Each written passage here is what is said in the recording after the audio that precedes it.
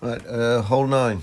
uh, elevations are 10% for the drive and 10% for the approach. Uh, rock, uh, make sure you have a, well, you don't need a, yeah, snipers, sorry, I was thinking something else. anyway, the drive uh, with the rock, and uh, we'll change to a rock, there we go. Blew out the rough at 14 yards. Here you see me play max top 2 right, but I'm going to change it to max top 1 right. and then max right curl when you're taking your shot. So 14 yards, and I do it just sideways here, left to right.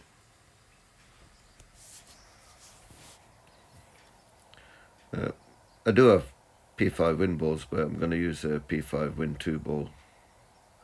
I don't want the wind too less or too much. Perfect shot. You see, it comes a bit close to the right hand side rough. Not, you see what I mean?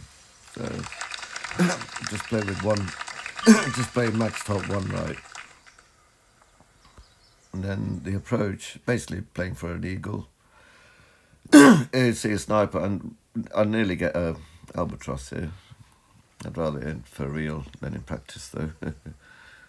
but basically I have the blue in about the blue at the rough. Make sure you don't have the yellow ring anywhere near the rough, if you know what I mean. Uh, basically five back, two left, and then some left curl.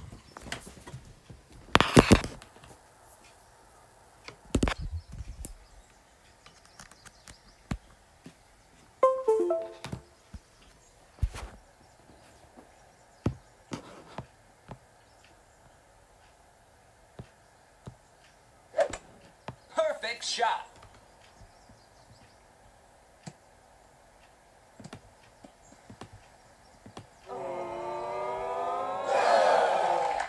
Nice on.